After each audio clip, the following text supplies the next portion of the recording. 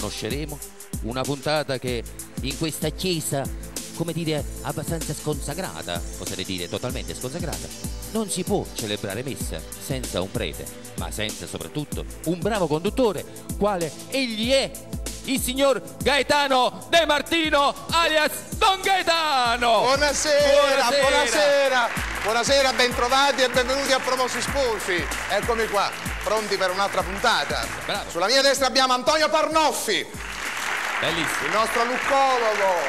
bravo.